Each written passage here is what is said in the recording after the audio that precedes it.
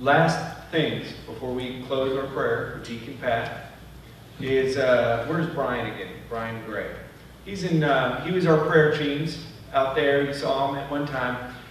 He uh, is part of a ministry called uh, Arise, Arise Ministries at uh, Mary Immaculate. And they do a retreat called Holy Spirit 101. And I don't know if any of you have been to that. I mean, I have. There's several people that have. But I can vouch for you that that is an incredible two-day retreat. You don't spend the night. It's just a, it's Friday evening and all day Saturday. And it teaches you about uh, the fundamentals of prayer and um, how prayer can work for you in your life and the charisms of the Holy Spirit.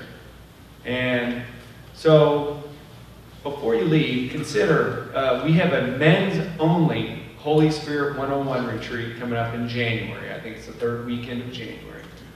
And I think we purposely made it to avoid, quote, football playoffs and sports stuff and things like that. So there's no excuses.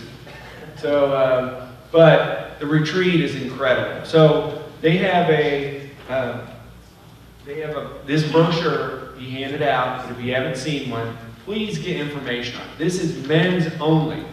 And again, this is a way that you, become, you can become a leader in your parish by going to a retreat like this.